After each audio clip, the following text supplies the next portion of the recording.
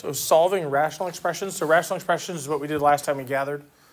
Um, it's really a setup of fractions that include sometimes a monomial, sometimes a polynomial, right?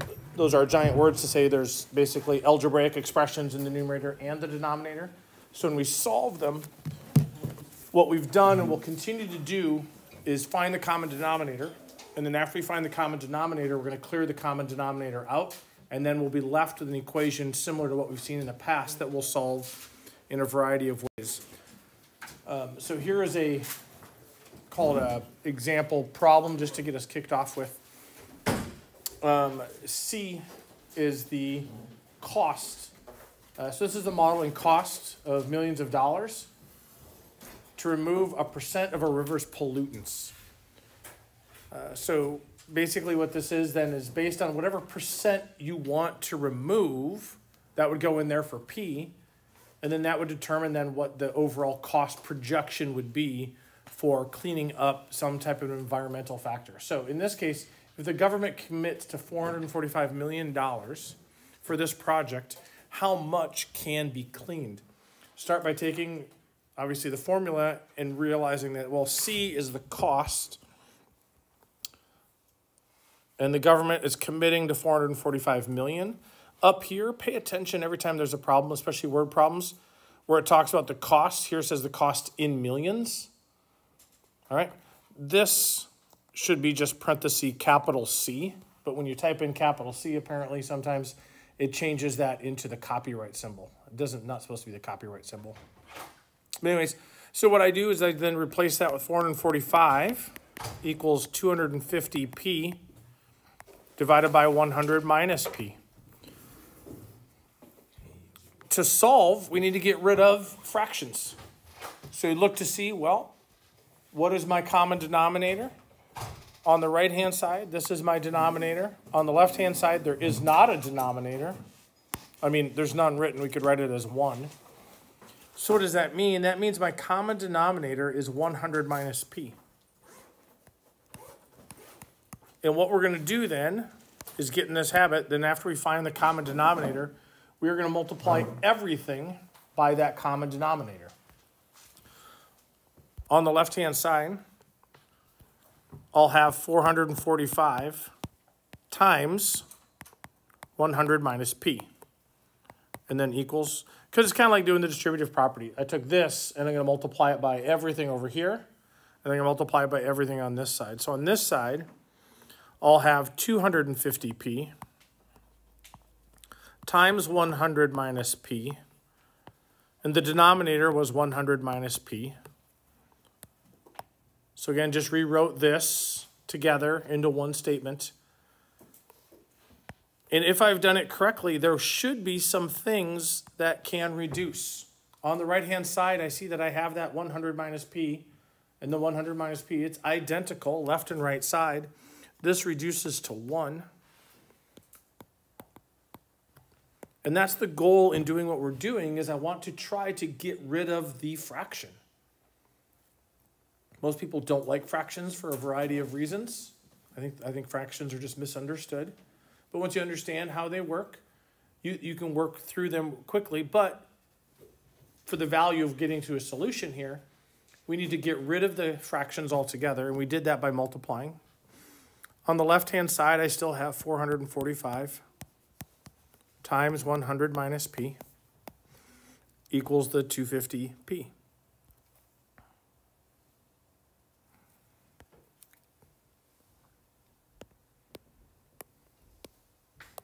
Now we go to our solving processes. Solving processes, first I got to get all my p's to one side. Well, before I can do that, the p on the left-hand side over there, that's trapped in the print, it's trapped inside the parentheses. So in order to get it out, I need to do whatever operation is happening. So this will be 4, 4, 500, because it's 445 times 100, minus 445p equals 250p. And for those of you that are you know fast at working, you're already working ahead of me on this one because you recognize, oh, next thing we have to do is add 445p to both sides of the equation. On the left is forty-four, five hundred. On the right is six hundred and ninety-five P, if I've added correctly. And then the last step to solve for P is divide by six forty-five, or six ninety-five, I should say.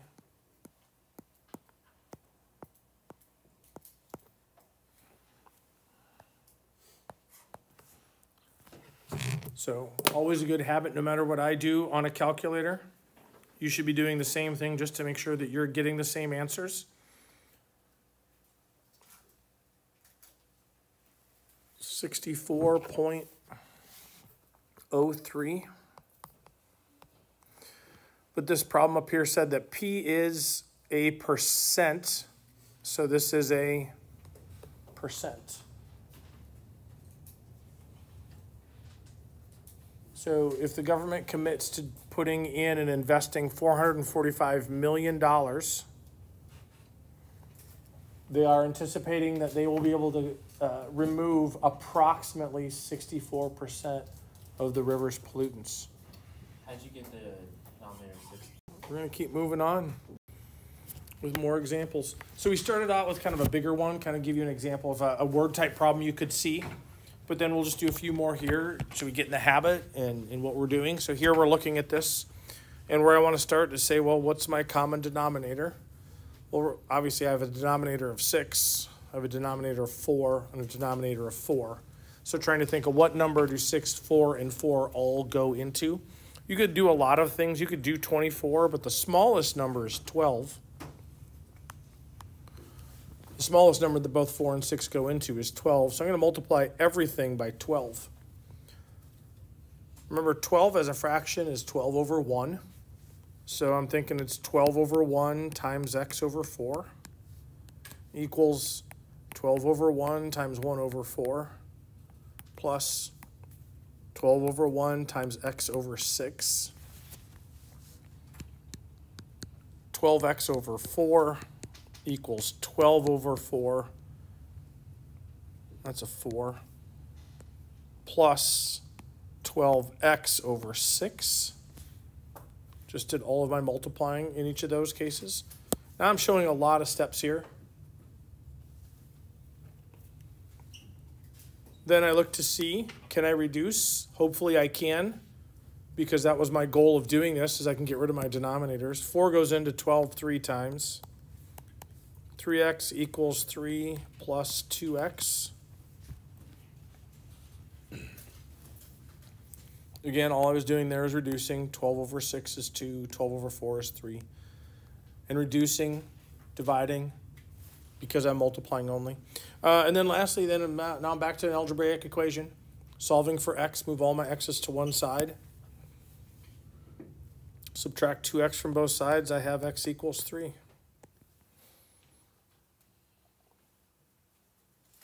Not a bad idea, though, with some of these to just go back in and double check. If I go back to my original equation and put my answer in, instead of the x over 4, it's 3 over 4 equals 1 over 4 plus 3 over 6.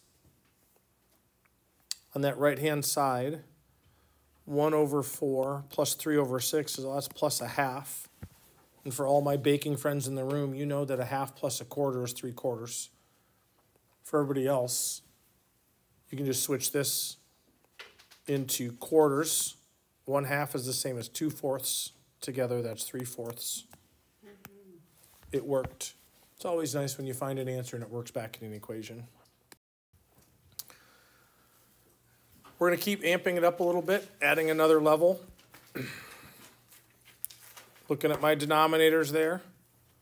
I have one denominator that's 2x, another one that's a 5, another one that's an x, so I know my common denominator will have an x in it.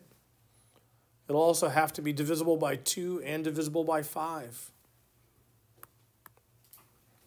which is 10, because 10 is the smallest number divisible both by 2 and by 5. So I'm going to multiply everything by 10 over 1. So when I do that over on the left-hand side, I'll have 10x over x, because again, just took 10x times 1. Here I'll have 10x over 5 plus 30x over 2x. All right, so multiplying numerator times numerator denominator times denominator. The advantage of that 1 under there is though all the denominators stay the same. And then I go to reduce. In this fraction here, the x's reduce because x over x is 1, leaving me with 10. Here, 10 and the 5 reduce to 2. The x is still there because it does not reduce. Plus 30 over 2 is 15. x divided by x is 1. So the x's reduce to 1, and then the 30 over 2 reduces to 15. I am back to an algebraic equation. Now I work through how do I get x's all by themselves? They are. So then I need to subtract 15 from both sides.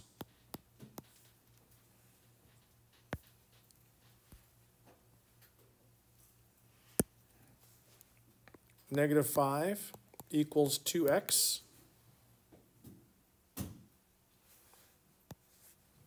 Divide by 2 because that's the opposite of the 2x. x equals negative 5 halves.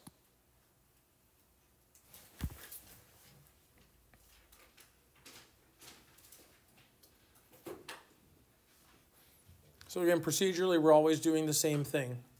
First step, look and see what's my common denominator, or if I already have a common denominator, working to solve it just straight through that way. If not, finding it, multiplying everything by that common denominator, and if I've done it the right way, all of my denominators will reduce. They'll reduce away to nothing, so I'll just, just have an algebraic equation or expression, and I won't have to worry about uh, fractions anymore. Working with this, first thing you see is one of them doesn't have a denominator, so just, you know, I usually do that over 1 as a reminder that there is a fraction. It's just over 1. My common denominator will be 2x so everything then gets multiplied by 2x. 2x times x is 2x squared. 2x times this will be plus 2x over x, because again, it's 2x over 1. And then this equals 2x times 5 over 2, which is 10x over 2 look to do some reducing. The x's here reduce. I am left with 2x squared plus 2 equals 5x. Well, now I no longer have a linear equation. I have that squared in there, which means it's a quadratic. And now we go back to all of our work in chapter 6 on quadratics or five. I lose track of where we first started with this. But solving quadratics, the process is you set your quadratic equal to zero. To do that, we need to subtract 5x from both sides. On the left, I will have 2x squared minus 5x plus 2 equals 0.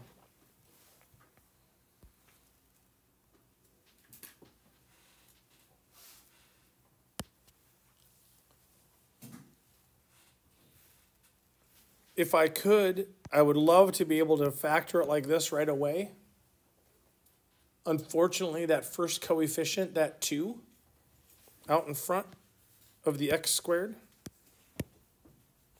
makes it harder. So then the easiest process is to use factor by grouping.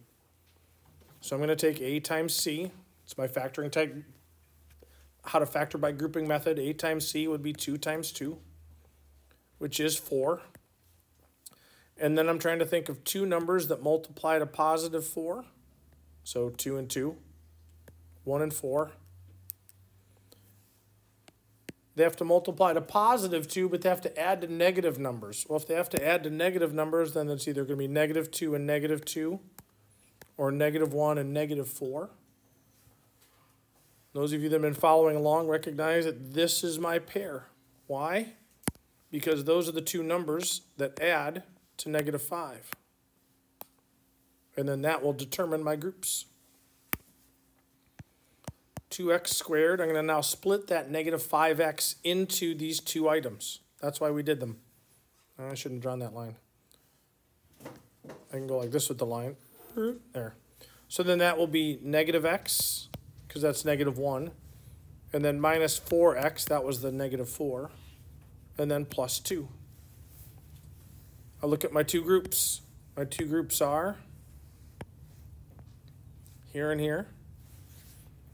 So that first group, both are divisible by an x, leaving me with 2x minus 1. Second group, both are divisible by negative 2. Why negative 2? I'm always, if this is an ever a negative in my grouping, I want to divide out that negative. So I'm going to divide out the negative because I want what's inside the parentheses to be positive. When I divide negative 4 by this negative 2 when I'm factoring it out, I'm left with 2, positive 2. Positive 2x. When I divide this 2 by this negative 2, positive divided by negative is going to be negative and that'll be 1. And again, if I've done this the right way, those two, the, the, the parenthesis sets that you've done when you've done this factor by grouping will be the same value. Since they are both divisible by 2x minus 1, that comes out in front, leaving me with just the x, and then minus 2. Now I'm going to bring that over here. 2x minus 1 times x minus 2 equals 0. That's what we had over here at the beginning, equals 0. We just forgot to bring it down each time. Equals 0, equals 0, equals 0, equals 0. Up here, equals 0. I have two things that must multiply to 0. And you're thinking in your head, what two numbers multiply to 0? Well, one of them absolutely positively must be 0. So I'm going to split these up. I'm going to take, well, what, if I have 2x minus 1, what makes that 0? Well, I'm going to solve it. Add 1 to both sides. 2x equals 1. 2x equals 1, so divide by 2, x equals 1 half. If x is 1 half, that would make 1 half times 2. 1 half times 2 is 1. 1 minus 1 is 0. That makes 0, and 0 times anything is always 0. What makes this one 0? It's easier to see this one intuitively. You look at it and say, well, what number do I put in here? I'm putting 2, because 2 minus 2 is 0. Similar to when we looked at denominators and said, what are my impossible numbers? It's that same idea. But here, it's what are my, this is what makes it 0. Now, if you didn't see that right away, you can very simply and easily say x minus 2 equals 0 and solve that for x.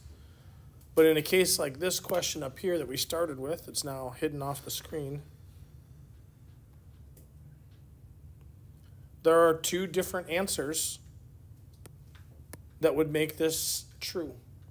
When x is a half, a half plus 1 over 1 half is 5 halves. When x is 2, 2 plus 1 half is 2 and a half. Both are solutions to this equation.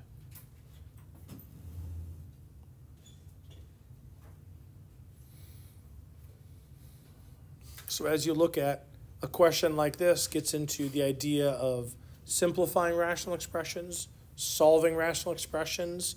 It includes figuring out how to do a quadratic that uses factor by grouping and then finding the two solutions.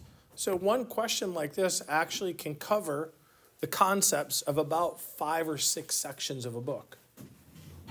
Makes for good test-like questions.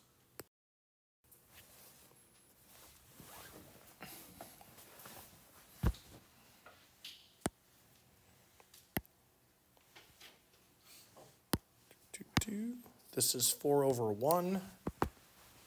So you're looking at that and you're writing it down, and then you're thinking to yourself, self, what is my common denominator? as we're working through this, my common denominator will be x plus 1. Technically times 1, because that's the denominator of the other one, but we don't have to write it. So then that becomes the one thing I'm going to multiply all three of these fractions by. First fraction, I'll have 8x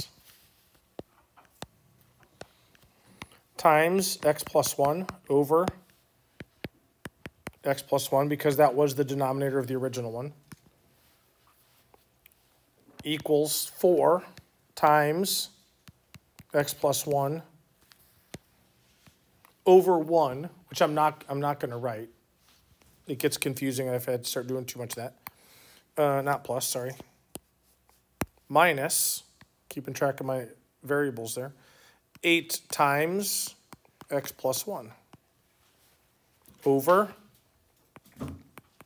x plus 1.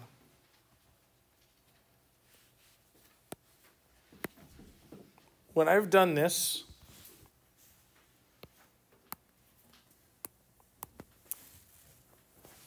I multiply everything by the common denominator so that I can get rid of the fractions. If I have something identical in the numerator and the denominator, completely and wholly, like this entire x plus 1, this entire x plus 1, they can reduce. Didn't mean to make it blue. I'll go back to red. Leaving me with 8x on the left-hand side. 4 times x plus 1 minus the x plus 1s are identical, minus 8.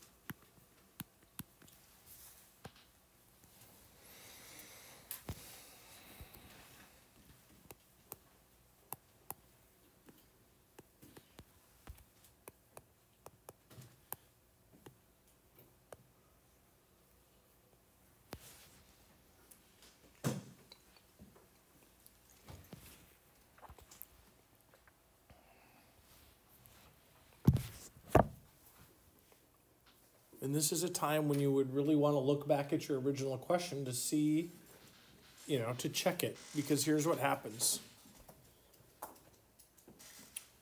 What if I take, me change the color on my pointer. What if I take this x equals negative 1 and I put it into my original equation? I would have 8 over negative 1 plus 1. What is negative 1 plus 1? Negative 1 plus 1 is 0. And what happens when I have 8 divided by 0? I have an impossible action. So while I haven't been saying it when we've been doing these problems, you need to pay attention to your denominator and know from the original equation, are there certain things that I cannot have? In this case, I cannot have negative 1 because that would make my denominator 0. That's an impossible number. Now I solve this and I find out that my only answer that works is x equals negative 1, which means although there is a solution that I can algebraically solve for, this problem itself has no solutions.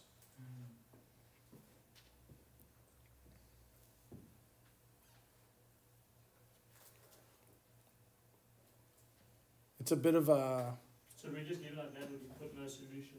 yeah. You would put that all if you try negative one back in here, you'd find out that it makes it eight over zero. So while in algebra I solved and found that my answer is x equals negative one, this answer is actually not a solution, and since this is the only answer, that means the entire uh, rational expression has no solutions. You can solve, we solved and found that if there was going to be a solution, it's negative one. Unfortunately, it can't be negative one because I have, that would, that would create a zero in the denominator. Yeah. So the common denominator is x minus three. So when you do that, what do we get on that left-hand side? X times X minus three over X minus three, x times x minus 3 over x minus 3. which is then equal to three times X minus three 3 times x minus 3 over, X minus three, plus nine times X minus three. there we go. Then we start reducing. Those reduce, these reduce. Again, if I've done my work correctly, I'll have a lot of things that reduce. On the left, I have x equals. On the right, I'll have 3 plus. Now here, if you want, you can go ahead and start swinging that stuff in. 9x minus 27, did distributive property. And then from here, we are back to a simple, I shouldn't say simple, we are simply back to uh, an algebra, linear equation, solving for x.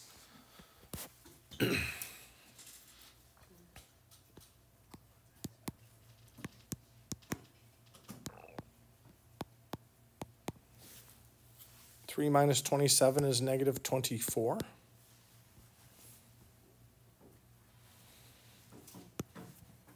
Divide by negative eight.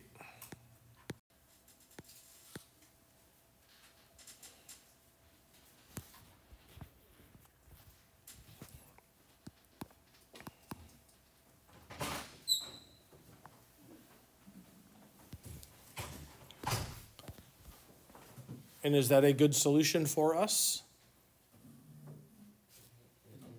No, it is not. We look at the original equation, we find out why is that not a good solution? Because then I'd have zero in the denominator.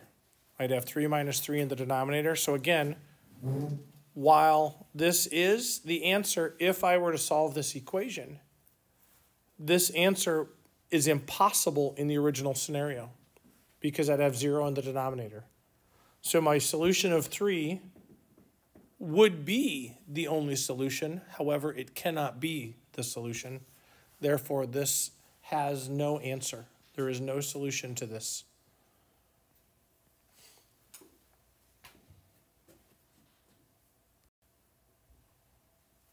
And then we get a little bit, uh, we'll come back to this one if I have time and have the voice for it. And then I said I'd come back to this one. We've got a little bit of time.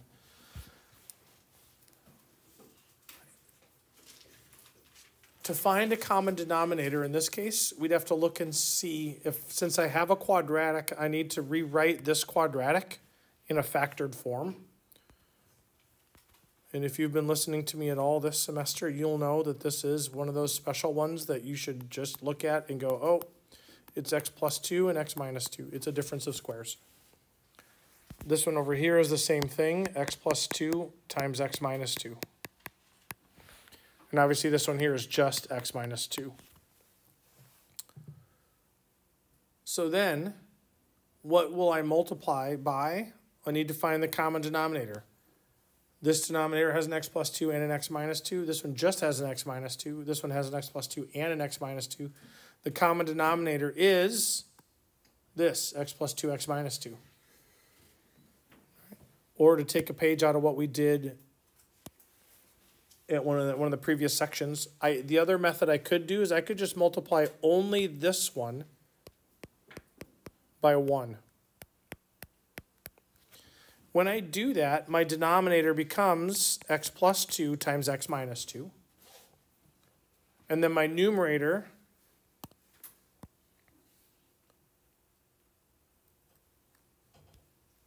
because my denominators are all the same at that point, I could then just rewrite my numerator as my equation. 7x plus 5 times x plus 2 equals 2x.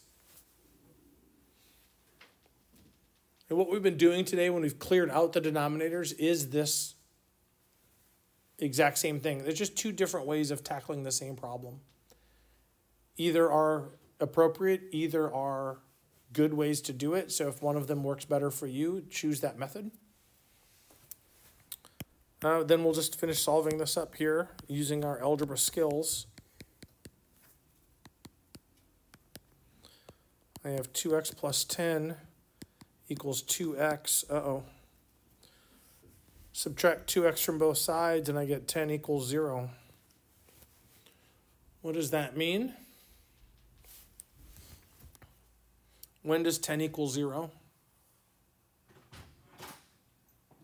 Never, so there are no solutions. Never mind. 7x plus 5x is 12x. All right, I thought I was working ahead of myself there. So if you can tell from my voice, I've been sick for a while. I'll blame it on that. Then don't you move the two x? Then I'll move the 2x over. And I'll have 10x plus 10 equals 0. Subtract the 10 from both sides, and I'll have 10x equals negative 10. Divide by 10, x equals negative 1. Let's go look at my original equation. What are my impossible numbers in the denominator? My impossible numbers are 2, because 2 minus 2 is 0. Negative 2, and this is negative 1. So I'm good to go. This will actually be then a solution to the problem.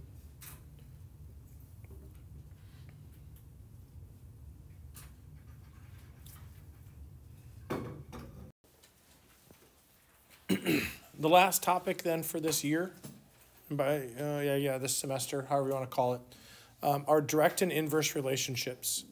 Uh, these tend to always end up being word type problems. So the two examples I have are word problems. But a direct relationship means essentially in words, uh, a direct relationship is if one variable goes up, the other variable goes up. Uh, an inverse relationship in words is if one variable goes up, it makes the other variable go down or decreases. So a direct relationship has a, a standard generic form, something like y equals uh, k times x. K is some constant, we call it a constant of variation. It just means that, uh, like in a, a linear equation, m, slope, slope is my constant of variation in a problem. In this case, x and y are the two variables. So if x goes up, so if x goes from 1 to 2 to 3 or something like that, it'll be multiplied by k, whatever k is. And k is a constant. We'll, we'll figure it out when we're working on a problem what that value is. Um, but if x goes up, y goes up. And that's what a direct relationship is. And there's a lot of things that exist as a direct relationship. Um, the more miles you drive, the um, yeah, well, that's probably a there'd be an inverse relationship. The more miles you drive, the less gallons of gas you have in your car. That'd be inverse. But it means an inverse relationship. Let's go ahead and just write that one down. Um, there, as x goes up, y would actually get smaller.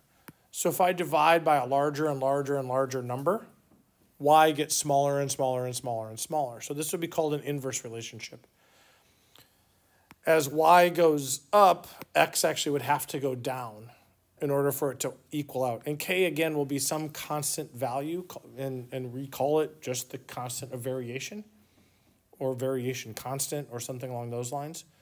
Um, and usually, in most of the problems we're going to look at, the ones we are specifically for today, is we won't know k, so we're going to have to find that first. After I find k, then I'll make my equation and then I'll solve for some other values of x and y. All right, but words you got to remember. A direct relationship means as one variable goes up, the other one also goes up. Inverse relationship or inverse variation means as one variable goes up or as one variable gets larger, the other one gets smaller. So then here we go. Volume of blood in a person's body varies directly as the body weight W, which makes sense. Bigger people have more blood. Smaller people have less blood. Which is why, if you have ever gone to donate blood, which I highly encourage everybody to do if you're eligible, um, if you don't weigh a certain amount, you can't give blood. And that's just because when they would take out the pint of blood that they remove, it would be too much, too large of a proportion of the amount of blood in your body that it would not be healthy for you to donate blood. So, if a person, so it's a, let's go back to this. We are told varies directly. As soon as we see that it's a direct variation, we're going to write down the generic formula for direct variation, and that's y equals k times x. But we don't have x and y in this case. I have two other things. I have blood and I have weight. So the volume of blood in a person's body varies directly as the body weight to the person. So I just need to choose one of those to be one and one to be the other one. It doesn't really matter. So we'll try it for B equals K times W. All right, so my two variables were blood volume and then body weight. B for blood volume, W for body weight. And then I'm told that a person who weighs 160 pounds, so I'm going to go down here to my equation. I'm going to have K times 160 has approximately five quarts of blood. Well, that's how much blood they have, so equals five. So they gave me one pair of points for what would work in that direct variation. I then need to find out what is my value of k. Well, it's in these cases typically going to be just a linear equation. Got to solve for k.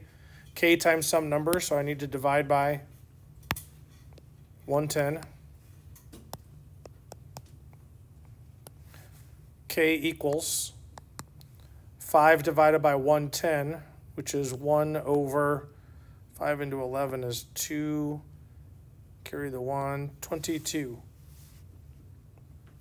So that is my constant of variation, which means I can go up here to my original equation, not that one, this one, and say B equals 1 over 22 times W. Yes. Sorry about that, people. The problem I have with having poor handwriting is this is a 1 6, not a 1 1. So I divide both sides by 160. So then 5 into 160 is going to be uh, 32. 5 into 150 is 30, so 160 is 32. So this would be 1 over 32 for that value, not 1 over 22. So thank you for paying attention and keeping me on the correct path here. Um, then it asks in the question, estimate the number of quarts of blood a person who weighs 240 pounds.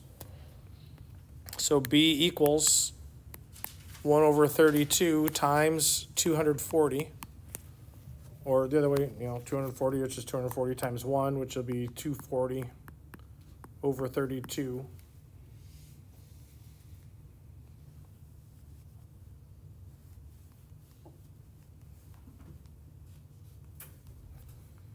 So they would have about 7.5 quarts.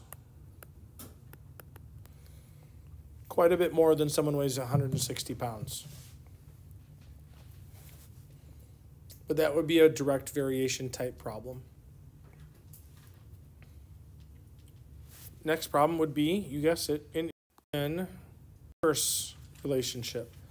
So here we're told that the rate at which heat is lost through a window pane varies inversely. The minute I see that, I'm going to write down the inverse, the generic equation for it. Um, as the thickness, so the L, which is the heat lost, and T, the thickness, those are my two variables. So I'm going to pick one of them and put them in for X and pick the other one and put them in for Y. Now, it sometimes is helpful to think which is the, now in, in math we'd say independent and de- dependent. Which is the cause, which is the effect? Is the heat lost a result of the thickness or does the heat lost cause the thickness? Which one causes the other one? Whichever one is the cause, that's my X. Whichever one's the result, that's my Y. So in this case, and again, you could do it and figure it out either way. It's just a little bit easier this way to think. The heat loss is my result. It is the result of the thickness of the window. Different thicknesses cause different heat losses. So if you can figure out which one's the cause, use that one for X. So now I've got my generic thing figured out, but then it gives me my one example so I can find K. It says a normal 1 8 inch thick pane. So that's my thickness. so I will have K over 1 eighth loses 400 calories per hour. Calories is a measure of you would normally think of it as how much like food is, but food would tell you how many calories you would need to burn to create enough heat to eliminate that food item. So it's so heat loss is measured in calories, and it's the same calories as your body. Because when you work out and you work hard, you develop heat. That heat burns calories, and then heat loss is that resultant. All right. I got to solve for k, which means I got to get rid of the 1 8th in the denominator. How do I get rid of 1 8th if I'm dividing by 1 8th? Multiply by 1 8th. So if I multiply by 1 8th, 1 8th divided by 1 8th is 1. Over here, multiply by 1 8th. 1 8th of 40 is, or 400 is 50. And that's my k. So now my equation will be L equals K, 50, divided by T, thickness. Then it asks how many calories per hour are lost through a quarter inch and three eighths inch window panes. Well, I got to do two problems. So this one here, I'll do it for one quarter. So L equals 50 divided by 1 quarter. And over here, I'm going to have L equals 50 divided by 3 eighths. How many quarters are in 1? Like in $1? Well, there's 4. So how many quarters are in 50?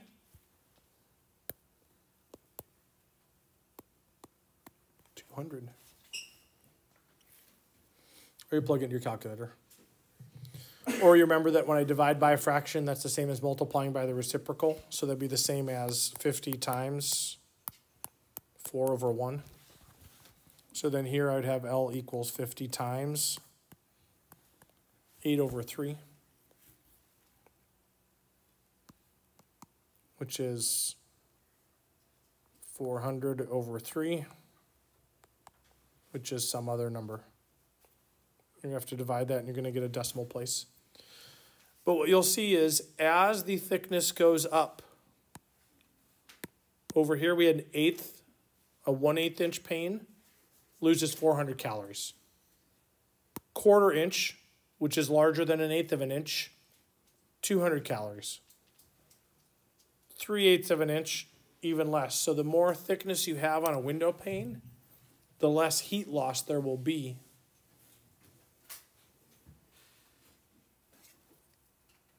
But going from one eighth to one quarter, I've doubled the thickness. Here I've tripled the thickness. Obviously, much heavier window panes at that point. All of our variation. And then those are the last two sections to be working on for checking your understanding. In preparation for the exam, the exam is a week from today. On Wednesday of this week, I will have some review questions from the first two exams to go through. If you have questions that you want covered from anything that we've done from the first two exams content, have those with you as well, which could include questions from that exam two review quiz that's online that you've taken. On Friday, I will take questions and have a few questions to give you related to content since exam two in preparation for the final exam. And then last, and probably this is the most important nugget you're gonna wanna hear right now. Uh, for the final exam, one, you need to have your own calculator. I will not be sharing mine. So find a calculator, find a friend with a calculator, go to Walmart and buy yourself a cheap one. Um, go, I don't even know, do they loan them out at the Student Success Center? They might. Um, two, um, if you want to bring with you one sheet of paper with anything on it, you certainly can. So if there are formulas you want to write down, um, like slope that you just never quite remembered, quadratic formula you never quite remembered. Um, if you want to put example problems on there, so as reminders to yourself, especially with some of the newer content, that might not be a bad idea. Um, but it's one sheet of paper, one side only. You will turn it in with your exam, um, handwritten as you have it, and uh, when you bring it in, um, you'll sit down to take your exam with that sheet of paper and your calculator and a writing utensil, or utensils plural. Um, remember, our exam is Monday at 1 p.m. It goes 1 o'clock, 1 o'clock to 3 o'clock. Um, I do not know if there's an exam in here before that. Monday at 1 o'clock. This room. Uh, single piece of paper with, again, virtually anything you want to write. Words of encouragement, fine. You can do it. Be confident in yourself. Stuff like that. Scripture references, go for it. Um, but that's what you can have then for the